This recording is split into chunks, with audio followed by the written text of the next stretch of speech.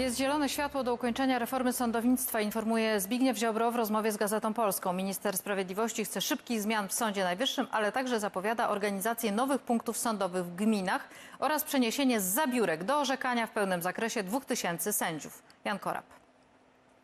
Rzeszów, przejście dla pieszych. Znany lekarz przejeżdża 27-latka. W trakcie procesu bezpodstawnie zasugerował, że zabity na miejscu przez niego mężczyzna próbował popełnić samobójstwo. Za kraty nie trafi. Mamy do czynienia ze sprawcą, który był dotychczas niekarany. Mamy do czynienia ze sprawcą, który wiedzie ustabilizowany tryb życia.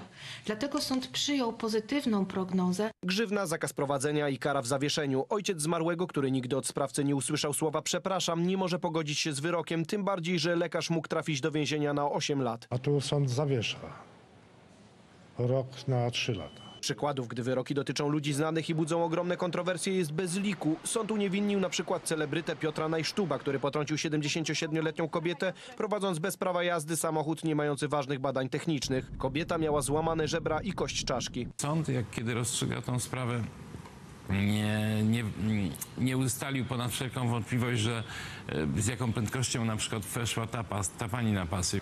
Gdy okazało się, że gwiazda telewizji TVN Piotr Kraśko jeździł 6 lat bez prawa jazdy, które odebrano mu za łamanie przepisów drogowych, sąd tylko nałożył grzywnę i zakazał Kraśce prowadzenia pojazdów przez rok. Uznaniowy wybór kar to jedynie wierzchołek góry lodowej dotyczącej sędziów. Bruksela robi wszystko, by zlikwidować Izbę Dyscyplinarną, która rozlicza sędziów przestępców. Na reformę, która do dziś nie została ukończona, czeka wielu Polaków. powinna prowadzić do oczyszczenia środowiska sędziowskiego z sędziów skompromitowanych, nieudolnych, e, sędziów, którzy mają zarzuty w sprawach dyscyplinarnych, ale również sędziów, którzy mają przeszłość e, w perelowską, e, byli związani z aparatem reżimem, byli tajnymi współpracownikami.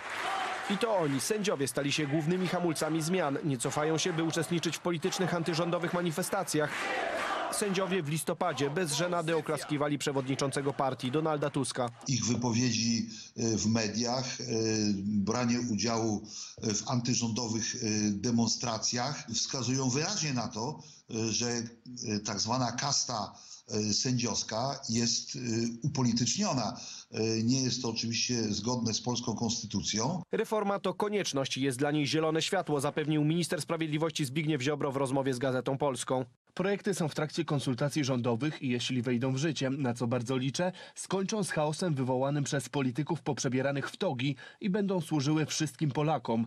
Uproszczą i usprawnią sądownictwo, uczynią je przyjaznym i przejrzystym, przybliżą obywatelom. Minister zapowiedział odbiurokratyzowanie sądów. Ponad 2000 sędziów funkcyjnych ma trafić z zabiórek do orzekania w pełnym zakresie, a na mapie Polski pojawią się nowe punkty sądowe.